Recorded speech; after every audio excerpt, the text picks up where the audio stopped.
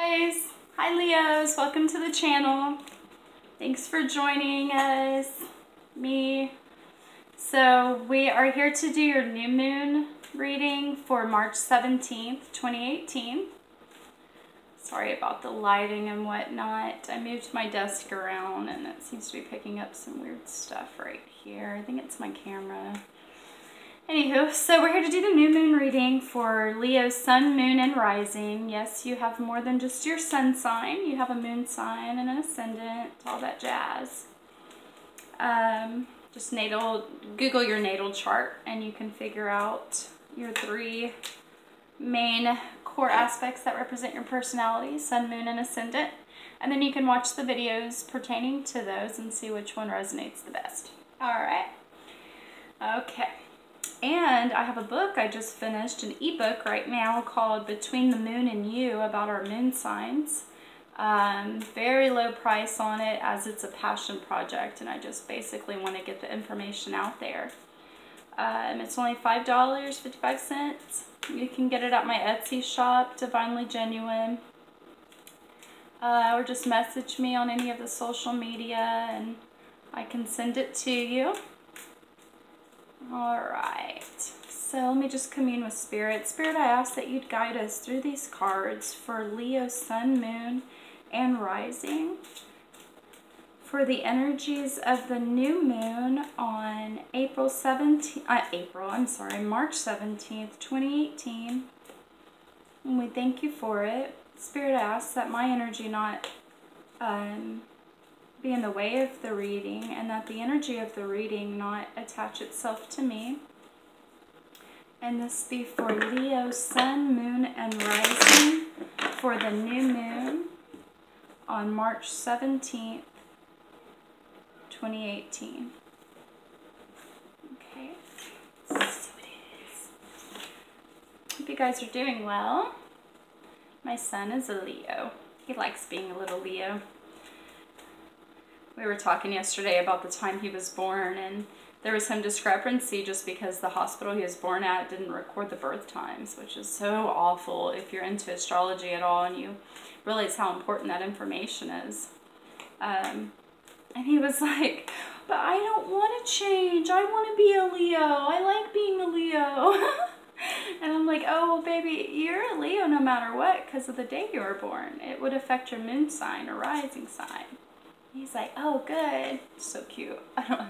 I should have asked him why he likes being a Leo, but he's my sunshine boy.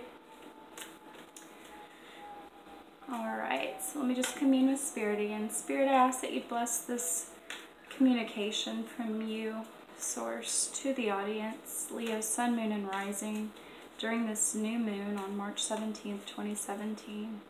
Thank you for allowing me to be a channel for you, Spirit. Please um, don't allow my energy to interfere with the reading, and please don't um, protect the energy of the reading from attaching itself to me. And thank you for it, Spirit, for any guidance you have for the Leo, Sun, Moon, and Rising for this new moon. Okay? Alrighty. And there we go. Alright, guys. Past present, future. Advice for the past, present, and future.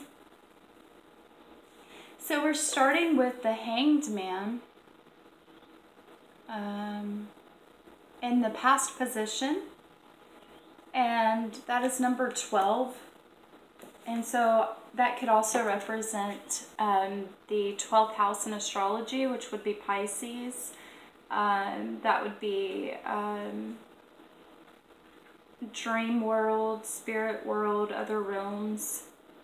Um,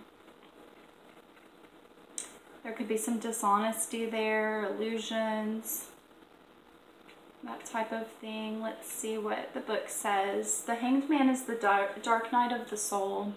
Surrender, letting go and giving in, sacrifice, turning inwards seeing things from a different angle, a pause in activity or plateau, serenity, suffering for a reason, seeing the bigger picture, giving into your higher self, the dark night of the soul, descent into the underworld, staring into the abyss. Okay. So some of you may be going through the dark night of the soul. Um, you know, a hard, tough time. Others of you are being asked to surrender. Um, or as you've gone through that dark night, Spirit is saying, just surrender to me. You don't have to handle it all alone, all to yourself. Um, you know, the tough things happen so that we learn from them, but we try so hard to just, you know, hold on to things or change things for what we think they should be and, and which like yes we have choice and a certain amount of control which is great. And um, we should be trying to make the best choices to our higher self. Um, but spirit's saying to choose to surrender. And the advice for this past position is mystic, revels in intimate union with the divine. Okay? So as you're surrendering or um, as, you, as you recently, now this is a new moon reading, so it's basically just for a couple weeks. Um, but so this could be current, you know.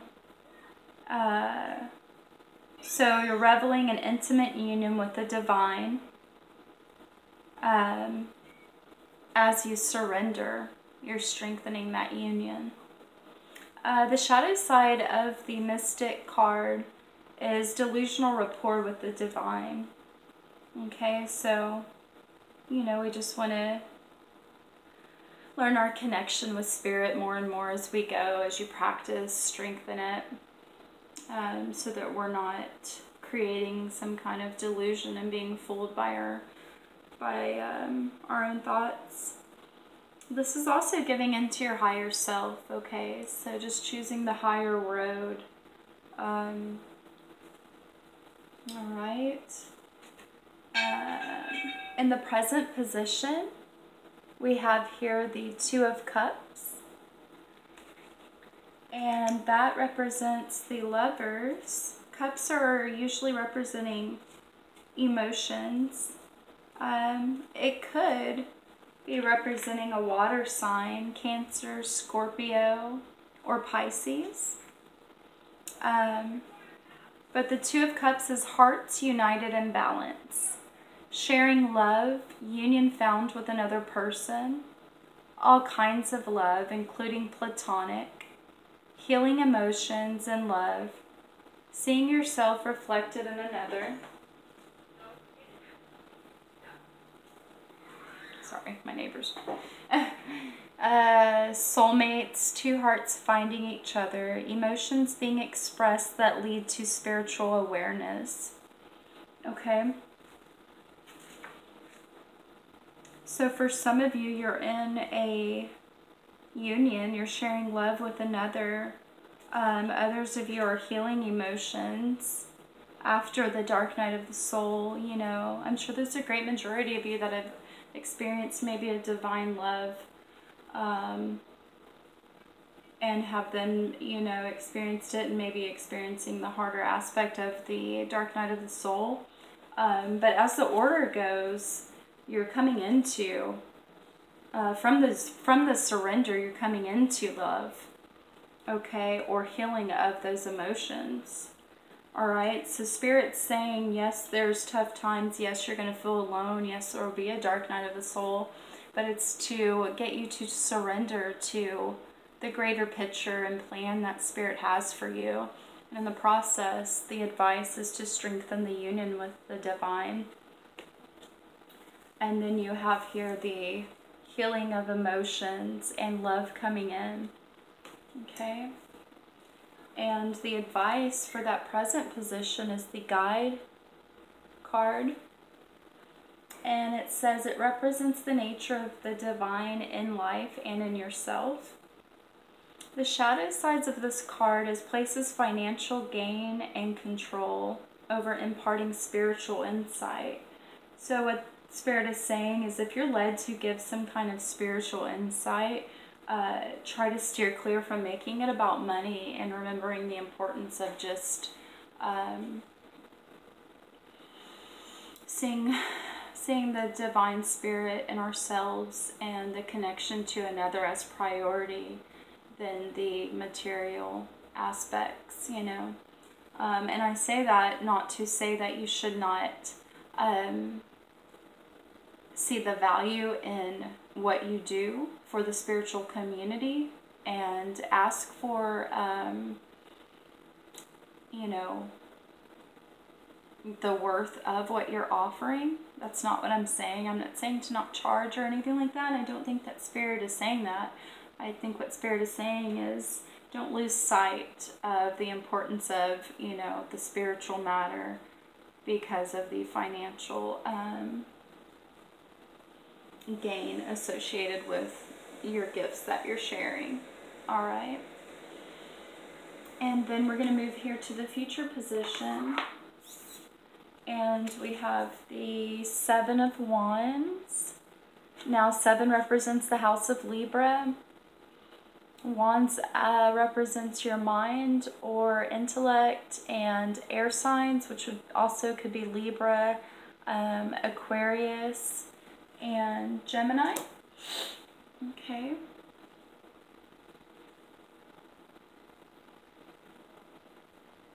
So Seven of Wands is the heart of the warrior. A hard fight, battling against oppression and bullying standing up for what you believe in, support supporting the underdog, giving everything to overcoming an obstacle. Defense or defense, sorry, defense. Defense facing opposition that seems insurmountable. Courage and valor to live for a cause. Okay, what a beautiful reading. Uh, some of you might be in like a twin flame connection or divine connection and you know, sometimes uh, my opinion on that is the greater thing about those is to get you to um, awaken more and spiritual growth. It's not so much about, you know, the individuals involved, um, is my opinion on that. Um, but um, each person's on their own path and what they feel is right for them, you know.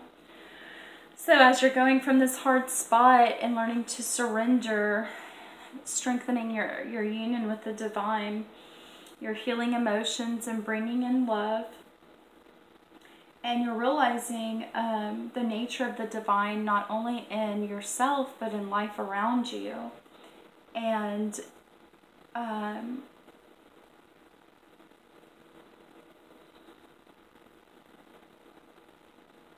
sorry. And in that, in this strengthening of spirit and healing of emotions, there may be a fight or a need to stand up for what you believe in. Um, you know, and it could be other people just disagreeing with what you've experienced here and having to surrender to um, healing emotions or to love. Um, but what Spirit is saying is keep that heart of the warrior with the Seven of Wands here um, living for a greater cause. And the advice for that card, that future card, is storyteller. And it says the ability to experience and express life through stories and symbols. You know, and this makes me think of like an alchemist. Um, you know, sometimes when we're up against odds or a battle um, of some kind where we need to have a warrior-like heart, we may need to tell ourselves a different story in our minds to keep us inspired um, and to keep us motivated, you know. Don't let your thoughts get carried away to be discouraged with the um, while you're standing up for the cause that you believe in, for the battle um, that may be going on here. Don't be afraid to play around and be creative with your own thoughts. Um, because if you believe in the secret and the law of attraction And you can just feel it when our thoughts are more positive. You can feel your energy lift and change, and it opens up possibilities to be blessed by the universe. And when we get negative, you can feel literally feel your energy going down, and all of that is connected to our thoughts and mind. Um, so tell yourself a good story, is what uh, the advice from Spirit is saying. Okay, so you're gonna revel in your intimate union with the divine as you're learning to surrender, you're going to represent the, or you're going to realize the nature of the divine not only in yourself, but in life all around you as you heal emotions and welcome and love. And you're going to tell yourself the right kind of story